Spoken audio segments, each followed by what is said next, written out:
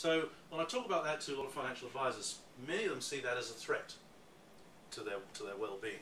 That the internet will be where everybody goes from now on. But then you've got to think. Let's look at other professionals. Let's take doctors, for example. You've got to talk to any doctor, and they will tell you that the number of people who turn up for their appointments, the surgery these days, with a sheaf of papers that they've printed off Google.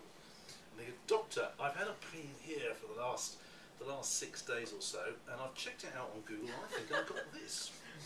And the doctors kind of play along with this. Go, really, that's interesting. Why do you think that? Well, you know, Google, this website says this, website says.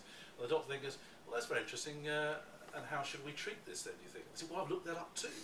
and I would think uh, prescription of such and such. Now, the doctors will tell you that 50% of the time they've got the diagnosis right, uh, but they haven't necessarily got the treatment right. And the doctors then come into their own and say, well, this is really interesting. You know, I've got intimate knowledge of your medical history, and all those exams I did and do give me a certain bit of expertise that perhaps you haven't got and perhaps you can't find on the internet.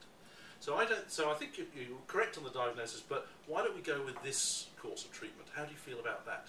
They go, oh yes, doctor, that's absolutely fine. And I think we're going to see a lot more of this, uh, where people go a certain distance. Some will go much, much further than others to do financial planning or get investment information or investment advice and they may or may not implement the solutions themselves. Or what they'll do is they'll get the information and then they will go to their financial planner very much better informed than before. And you've got to ask doctors, do you think they feel under threat from the internet? Not a bit of it. They feel this is really good news because given access to the information, and we all know what a little information can do, little information can be about, but given access to the information, it proves that people do want to take control of their health issues. They do care about themselves, and the internet has finally given people, has empowered many people to uh, to help themselves uh, in many ways. Um, the social media landscape, that sounds very grand. Uh, basically